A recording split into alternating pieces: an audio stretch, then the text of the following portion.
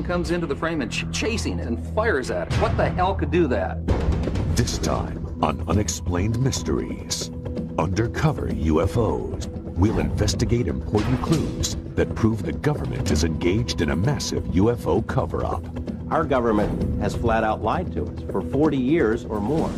We'll show you the government's distortion of the truth. This is that's lying through your teeth to the American people. The military's mysterious black projects based on alien technology. Is this otherworldly technology that's being applied to Air Force black projects?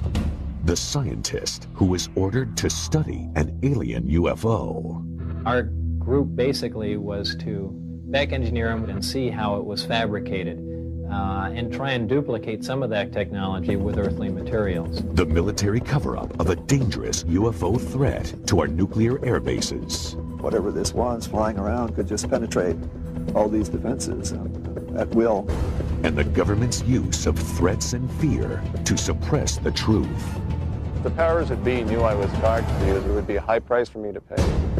You'll find out why the government is reluctant to admit the possible existence of life on other planets. The reason being that it could cause widespread social unrest and possible deterioration of government control. We'll hear from witnesses of saucer-shaped craft that might have been designed and built by the Air Force. My gosh, those are flying saucers. Those things really do exist. And we'll give you our final analysis in our UNX report as we blow the lid off the government's UFO conspiracy on Unexplained Mysteries, Undercover UFOs.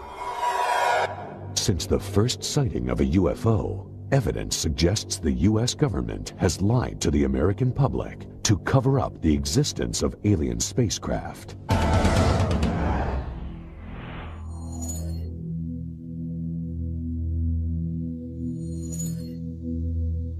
Our government has flat out lied to us for 40 years or more. They've threatened people and intimidated people. They've spied on UFO groups, infiltrated UFO groups, spied on researchers, compiled dossiers. Their response is bordered on paranoia. The CIA says that it does not collect information on UFOs, and it hasn't since the 50s. There are reams of documents squeezed out of the CIA that indicate that they have on staff CIA UFO experts, agency personnel monitoring the situation on an ongoing basis. They lie. The Air Force studied UFOs closely. A squadron of pilots had a unique mission. Find and photograph UFOs. Pilot Guy Kirkwood witnessed an amazing scene. 16 unidentified objects two miles away. They broke rank and just started moving uh, all over. They were below us, they were above us, they were out in front of us, and accelerating, literally at lightning speed. And a dot in the distance, maybe several miles away from you at that point, maybe a pencil point, all of a sudden closing on you at the rate of several thousand miles an hour, and a 36-foot object, which is basically almost the same size as our aircraft, a 36-foot wingspan. But all of a sudden, this thing is just closing on you faster than you're able to think. The Air Force suddenly terminated the UFO search squadrons. Years later, Kirkwood started talking about what he saw, and two government agents accosted him. And they said, well, the government doesn't like the information being released, and to continue could be detrimental to your health.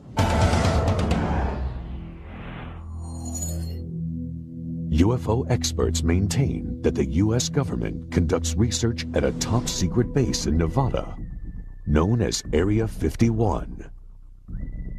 An aerospace engineer who worked there could not believe what he saw. Got out of the bus, I was told to walk directly through the hangar, and uh, immediately, uh, even before entering the hangar, you can see the edge of a disc. Uh, this is your classic flying saucer, two inverted pie plates, if you wish, uh, with a segmented larger area dome on top. Within minutes of that, I finally realized that this had nothing to do with something the government was producing. And that was quite shocking because everything inside was small. This is a full-size craft, 30, 35 feet diameter, maybe 40. Uh, but you're looking at, at uh, seats that are, you know, 18 inches off the ground, obviously made you know, for, for something smaller. It certainly wasn't made for children to play in. The U.S. government denies working on alien spacecraft. They also deny that Robert Lazar ever worked for them. Records of Lazar's employment have vanished. But two important items of information offer solid proof. A W-2 form stating that he worked for Naval Intelligence and a listing of his name in a government lab phone book. After Lazar came forward, he was threatened by government agents. Many others suffered the same fate. One after another had, had visits from, from government personnel who basically intimidated or told them to back off, followed them around. I've been covering organized crime in Las Vegas for, for 10 years, dealing with uh, mob hitmen and mob informants, uh, people who have been in the witness protection program. The fear that is generated by this UFO subject for people who really know about it far outweighs the kind of fear that the mob inspires. I mean, people are more afraid of our government than they are of organized crime. Despite the risk, Lazar maintains his conviction. I am exactly sure of what I saw. I know what mainstream science is like. I know what, where physics stands. I know all of that. And this is an extraterrestrial craft. This technology is hundreds and hundreds of years in advance of us, and that's the end of that story. The U.S. government has a history of withholding secrets from the public. LSD experiments on human subjects, radiation tests over cities, the Stealth Fighter Project, and the U-2 spy plane. The government has a name for their policy of systematic lying to the public. It's called disinformation. Our government does it all the time. There are even printed guidelines for how cover stories, disinformation, are supposed to work. While serving at NATO headquarters, Bob Dean saw super secret documents dealing with UFO sightings called the Assessment.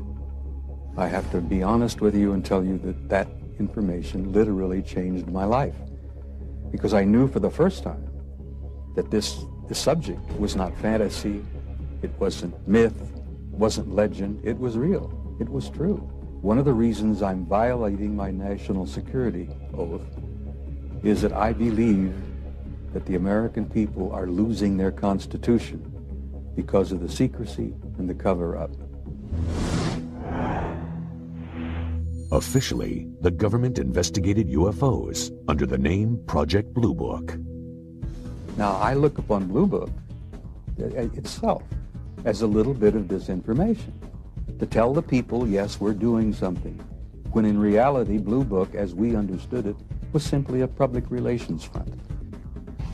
Many experts feel the government will go to any length to conceal the truth.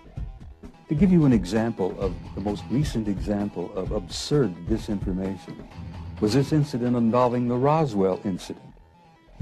First, the Air Force says it was a weather balloon. And 50 years later, they said, gee, guys, we're sorry. It really wasn't a weather balloon. It was much more than that, but it was a balloon. Project Mogul. Well, I'm, I'm tempted to use terms that you'll have to bleep out.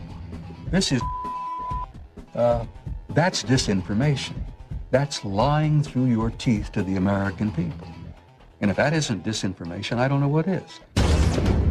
Coming up, the frightening UFO threat on our nuclear arsenal. It's a classic flying saucer, and it shot a beam of something at our warhead. Find out about the military's top secret black projects.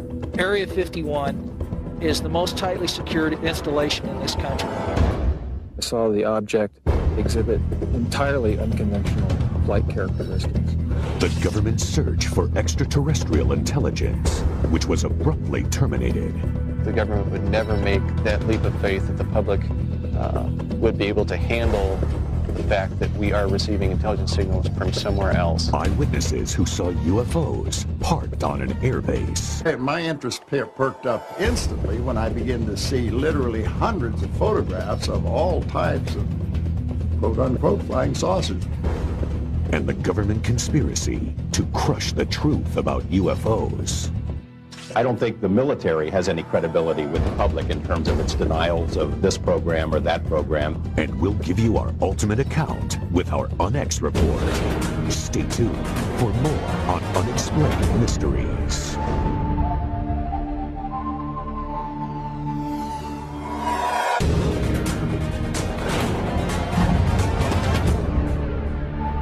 Unexplained Mysteries Undercover UFOs. The long-time U.S. policy of lies and disinformation may have put the public in danger. Security at several U.S. nuclear missile bases was breached when eyewitnesses reported bright lights just 200 feet from the missile silos.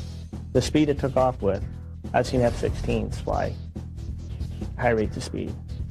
And this was here and gone from a dead still hover. Wurtsmith Air Force Base, Oscoda, Michigan. Shuttered now, it was an important part of Strategic Air Command's Northern Tier Nuclear Bomber Retaliation Force. An alarm sounded when several unidentified objects showed up on radar, and they were headed straight for the airbase. Stop Rock with an expedite scramble. Authentication time is 1906. Scramble. Roger that. As UFOs flew towards the nuclear weapons storage areas, jets tried to intercept them. But by the time the pilots got there, they were gone. There were at least a dozen U.S. and Canadian military bases that were overflown during a three-week period. Air Force personnel reported numerous sightings and radar contact of the UFOs in official documents. All of the incidents took place near nuclear weapons facilities. When one object came low over a weapon storage area that appeared to demonstrate a clear intent over this area, meaning it seemed to have intelligence. I was awakened in the morning by a bright, glowing orange colored light. Looked out over the creek.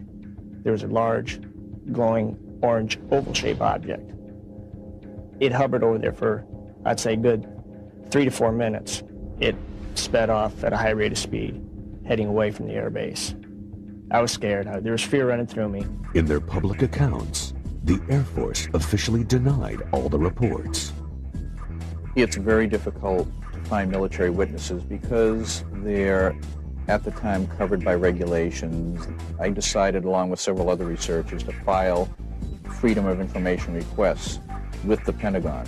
The Air Force document stated, quote, penetration of sensitive areas during the hours of darkness have prompted the implementation of Security Option 3 at our northern tier bases, unquote. The reason this is so significant and interesting is that they seem to be focused on atomic weapons. These bases, because of what they stood for, they were our massive retaliation capability, and therefore there were very high security bases. Whatever this was flying around could just penetrate all these defenses uh, uh, at will. The important question, did the UFOs affect the missile's ability to launch? Malmstrom Air Force Base had several intrusions near missile silos, one involving an object which, according to one witness, hovered over the silo and somehow managed to change the tracking numbers on the missile. According to the witness, the missile had to be removed and retooled to make it work again. And to see this not in UFO books, but in government military messages was a real eye-opener. And I, I think that if the public had known that at the time, there would have been great alarm. About 10 years before, Air Force Lieutenant Robert Gibbs witnessed something remarkable.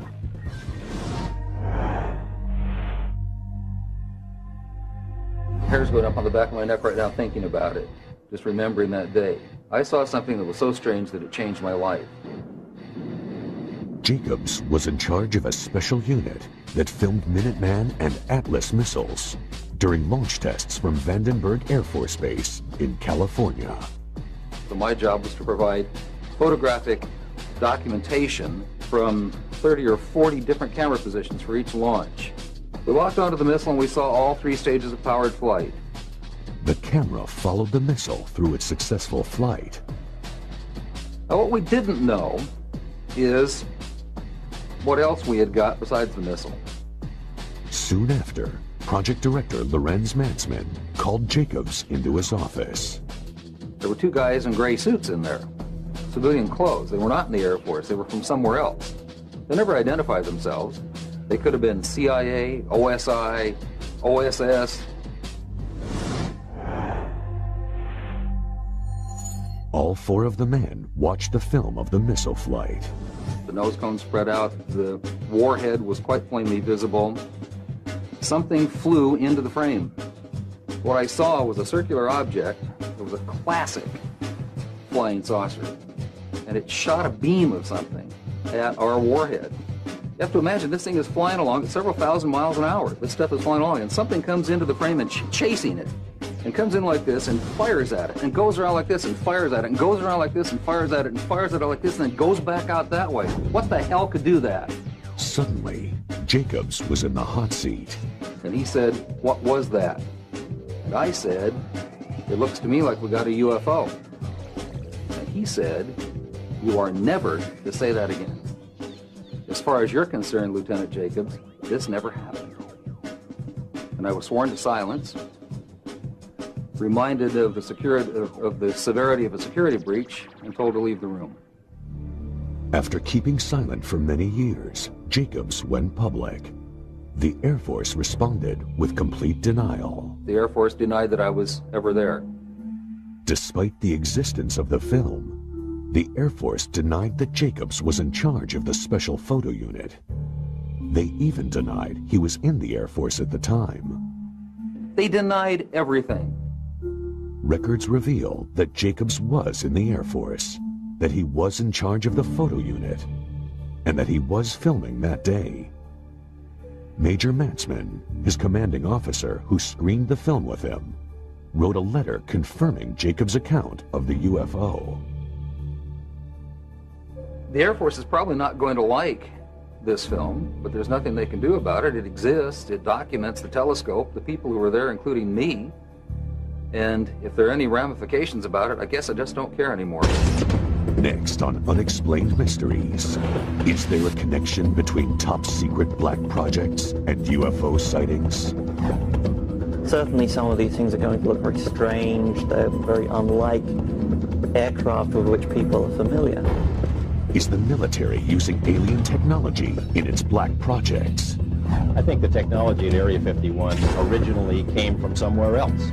And what happens to people who want to get close to Area 51? I think that could be the biggest and perhaps the last mistake they are going to make in their life. We'll show you why NASA terminated its own probe that was getting information to life on Mars.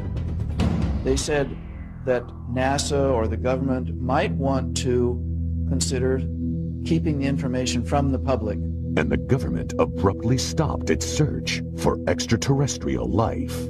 For certain people, that's not something that they want to either believe in or allow anybody to know that they believe in. We'll expose what the government does to military officers who report UFOs. I got letters from high-ranking officers that they had no record of such an aircraft ever existing. And we'll sum up the UFO conspiracy in our UNX report. There's much more to come on Unexplained Mysteries. Undercover UFOs. Black Projects. That's the name for secret military development efforts. Certainly some of these things are going to look very strange. They're very unlike aircraft with which people are familiar.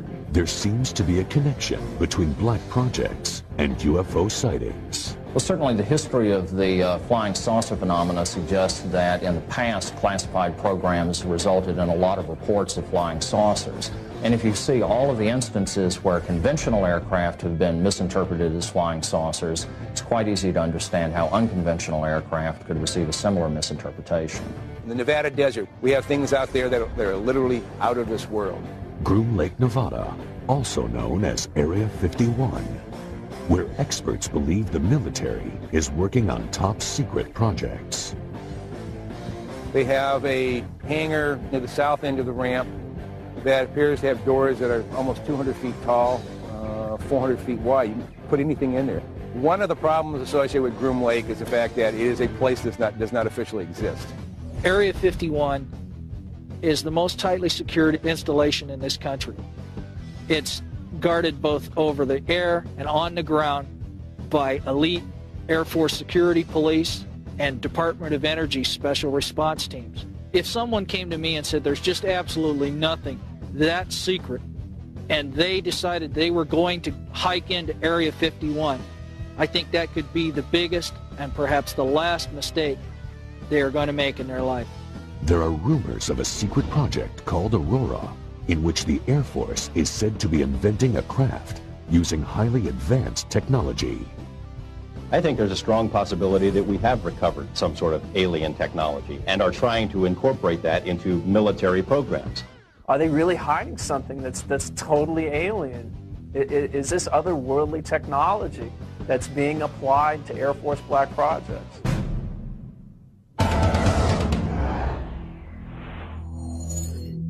Sonic booms have been reported in Los Angeles, evidence of high-speed, unidentified craft. They've been traced back to Groom Lake, Nevada. We really can't tell what's moving. The only thing we see is, is a sonic boom, and that's telling us that something is moving faster than the speed of sound. So actually, we can't even tell it's an airplane. The military maintains its position of denial.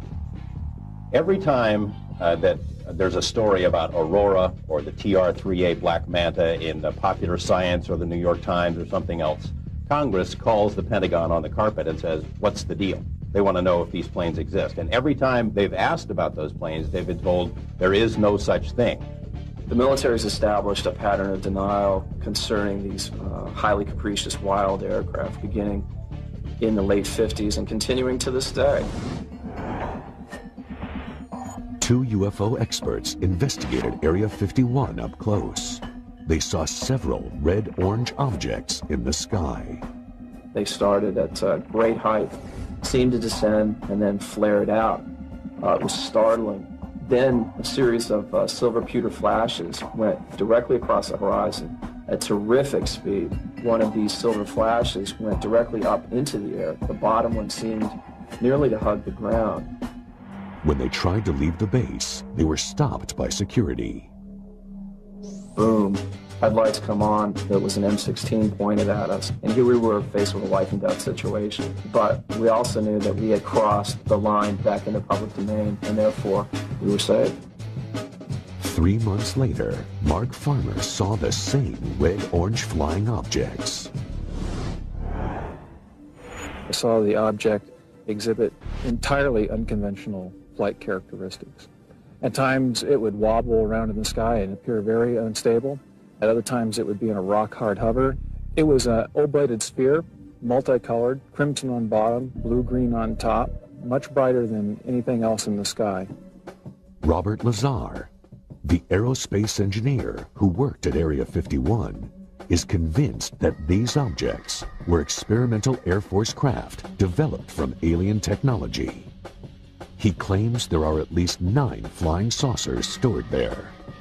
I was part of a back engineering group, and our job was basically to look at these recovered discs, and I say recovered because I don't know really where they came from, whether they were given to us, we found them, shot them down, who knows what. But uh, our group basically was to back engineer them, which means to start with a finished product and go backward and see how it was fabricated uh, and try and duplicate some of that technology with earthly materials. To me, Bob Lazar is credible. Over the past couple of years, I've spoken to literally dozens of people who have worked at that facility out there in Nevada. I think the technology at Area 51 originally came from somewhere else. The military disavows any knowledge of the alien technology program. I, I, don't think the military has any credibility with the public in terms of its denials of this program or that program. They've denied the U-2 existed. They denied the SR-71 existed. They denied working on stealth. All of those programs suddenly were unveiled. Coming up on Unexplained Mysteries, the destruction of one of NASA's most valuable space probes. Was it intentional? It did not lose transmission. They turned it off. The promising search for extraterrestrial intelligence that the government ended abruptly. If our government knew that we got signal from outer space, they'd clamp a lid on it. The mysterious UFO sightings on the ground at MacDill Air Force Base. It was nearly 100 feet across. The military headquarters for a secret UFO intelligence team. Wright-Patterson had something unique to our government, and that was the Technical Intelligence Organization. And the government's refusal to divulge UFO secrets. A lot of people say, well, how can something be kept secret? The F-117 stealth fighter was kept secret for approximately 10 years. And you'll get the ultimate rundown with our UNX report. More secrets, more revelations. Next on Unexplained Mysteries. Unexplained Mysteries Undercover UFOs. The government's cover-up of alien life extends to other planets. The unmanned Mars Observer was packed with sensitive data gathering equipment. But it never completed its mission. NASA blamed the failure on technical malfunction. But experts think there's more to NASA's story. It starts with a strange area on the red planet known as Cydonia. It's quite possible that NASA knows more about anomalous structures on Mars, possible extraterrestrials, even structures on our moon that they're not telling us about. There is sufficient evidence to indicate that some of the objects on Mars may possibly be artificial. NASA says the objects on Mars are just light and shadow. But 3D imaging reveals something startling. I was quite interested with the first photos and release of the face on Mars. But particularly I thought it was interesting the pyramidal structures. Some of these pyramids appear to have even a central stairway running up and down them. The more we look at these structures, the more we can see that there's there's something amazing here. Did NASA create a convenient malfunction to hide archaeological evidence of alien life? If some people want to go far beyond the edge of what's accepted in terms of, of, of imagery, see patterns on the rocks of Mars or on the moon or in the rings of Saturn, uh, my, my view to that is mazel tov. Go ahead, do it. Uh, try it out. Make the proposals. These objects, if you measure carefully from the tops of the five that surround this city square point, you find an almost perfectly symmetrical pentagon. The Brookings Institution prepared a report for NASA. It contains a shocking recommendation. There is a section on what might occur if evidence of extraterrestrial existence was found on other planets. They said that NASA or the government might want to consider keeping the information from the public. The reason being that it could cause widespread social unrest and possible deterioration of government control. NASA claims the observer had an electrical failure. It did not lose transmission. They turned it off. And they turned it off after the instructions for going into orbit had been uploaded to the spacecraft. It was possible then that the spacecraft would go ahead, follow out those instructions, and go into orbit. Before we start saying how these rocket scientists messed up, and they did mess up, we have to keep realizing just how tough these projects are. That we're doing things out there in space every time we do it that no one even thought was possible a few years or decades ago the search for extraterrestrial intelligence.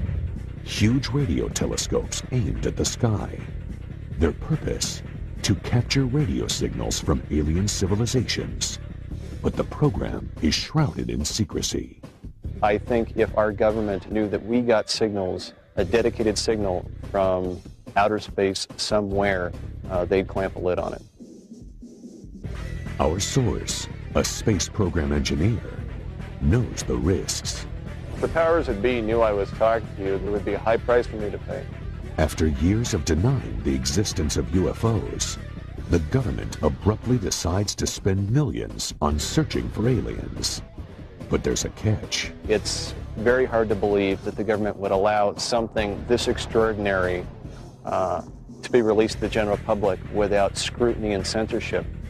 In the Mojave Desert, the government set up Goldstone Station on a military base. It's RF quiet, uh, which means there's not a lot of background noise when they're looking for signals. It's really ideal for this type of search. Soon after coming online, the telescopes picked up signals called hits. There were hits that were taken seriously. There were three, four hits to my knowledge uh, that were strong and uh, it could potentially be a signal from an extraterrestrial intelligence. Then the government suddenly shut down the program. It was a cheap shot for the budget posers, for the so-called uh, deficit hawks. It's always easy, easier to make fun of something that you or, or, your, or enough of your constituents don't understand. But some experts take issue with that explanation. If they embrace the concept of looking for alien signals, they also have to acknowledge the fact that the alien signals are coming from an extraterrestrial intelligence somewhere. And for certain people, that's not something that they want to either believe in or allow anybody to know that they believe in. Some people believe the National Security Agency killed SETI because it feared the public would panic. Their history uh, and action in the past uh, is a good warning of what they would do if something like this happened. SETI was resurrected by several major corporations and renamed Project Phoenix. But the government maintained a strong, though unpublicized, presence. If the hits do come down, they will be suppressed, and I don't think anybody will take a chance. The government would never make that leap of faith that the public uh, would be able to handle the fact that we are receiving intelligence signals from another race, creature, something from somewhere else. Next on Unexplained Mysteries. The Air Force officer who saw a number of UFOs. My gosh, those are flying saucers. Those things really do exist. Or were they experimental military planes? A lot of people say they're from deep space, but they could just as easily be from this world. Find out how the military dealt with questions about the aircraft. They had no record of such an aircraft ever existed. And we get to the truth about the UFO conspiracy in the UNX report. Next on Unexplained Mysteries. Unexplained Mysteries Undercover UFOs. Reports are increasing of UFOs spotted at air bases, but with a striking difference. These craft are on the ground. MacDill Air Force Base, Florida, 1967. An officer witnesses an inconceivable sight.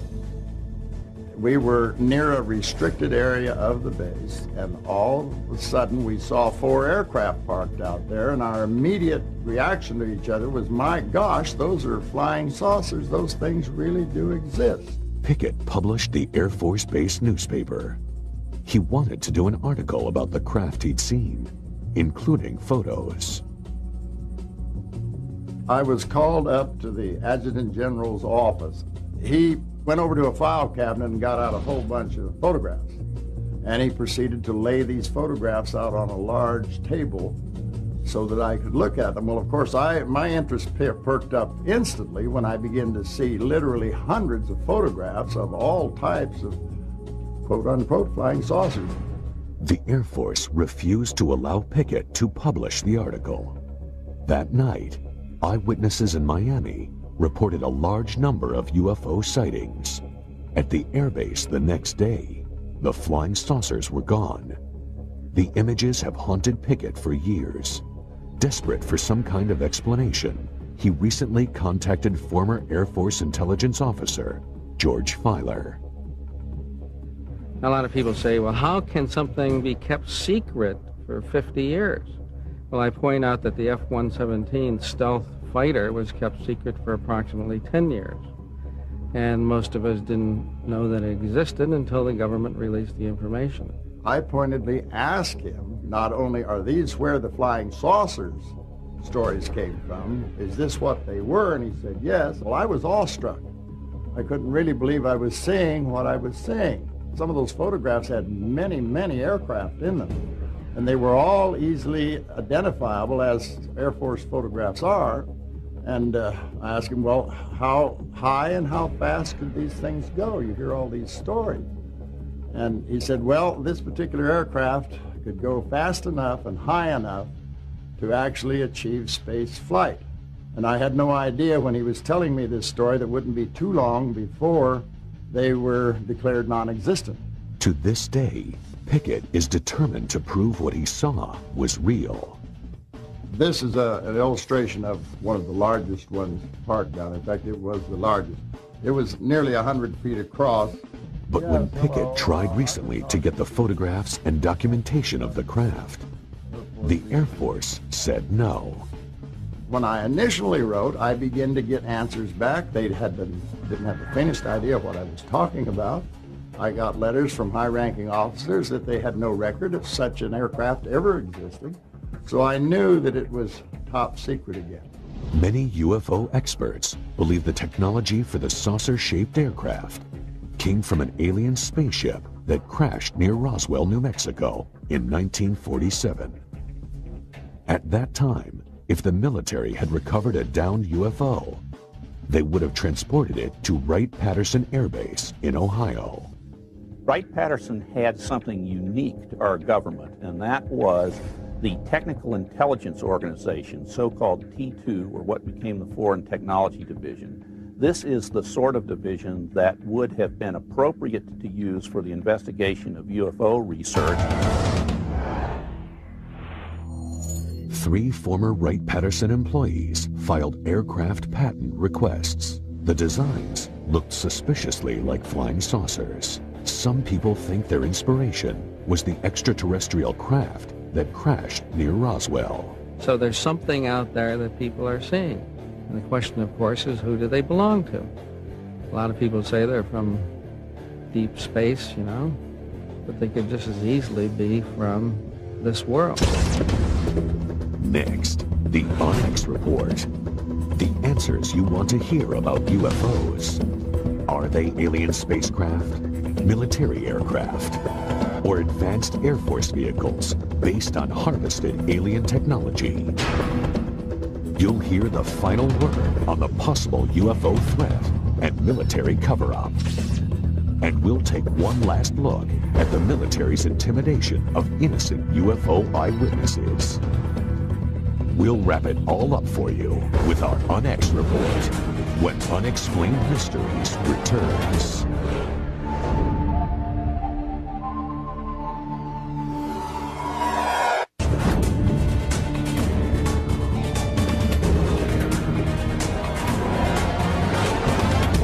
And now for the UNX report. Experts believe the U.S. government is conducting a massive conspiracy to keep evidence about UFOs and aliens from the public. The military has established a pattern of denial concerning these uh, highly capricious wild aircraft beginning in the late 50s and continuing to this day. Thousands of witnesses have reported seeing unknown flying craft with similar details. a 36-foot object, which is basically almost the same size as our aircraft, a 36-foot wingspan. This is a full-size craft, 30, 35 feet in diameter. This is your classic flying saucer. And something comes into the frame and ch- chasing it. And comes in like this and fires at it. And goes around like this and fires at it. And goes around like this and fires at it. And fires at it like this and then goes back out that way. What the hell could do that? The government UFO conspiracy begins with denial. And he said, What was that? And I said, It looks to me like we got a UFO. And he said, You are never to say that again.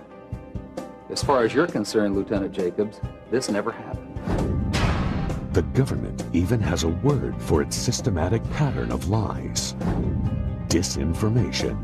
Our government does it all the time. There are even printed guidelines for how cover stories, disinformation, are supposed to work. This is. Uh, that's disinformation. That's lying through your teeth to the American people.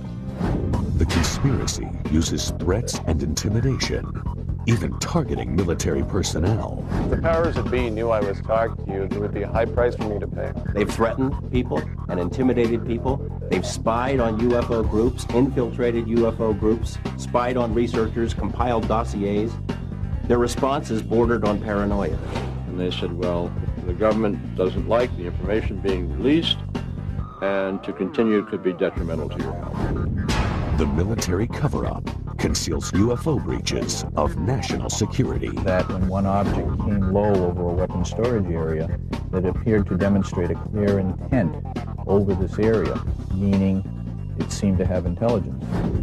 The conspiracy withholds reports of radio signals from outer space that confirm the existence of alien life. It's very hard to believe that the government would allow something this extraordinary uh, to be released to the general public without scrutiny and censorship. And the government denies the reverse engineering of their infamous black projects. I think there's a strong possibility that we have recovered some sort of alien technology and are trying to incorporate that into military programs. I got letters from high-ranking officers that they had no record of such an aircraft ever existing. Secrets can be kept. Secrets are kept. And every time they've asked about those planes, they've been told there is no such thing. Why does our government hide information on extraterrestrial life from us? The reason being that it could cause widespread social unrest and possible deterioration of government control. How do you prove a government cover-up when their tools are denial and disinformation? Only facts made public will verify the conspiracy. Until then, it will remain an unexplained mystery. Our government has flat out lied to us for 40 years or more.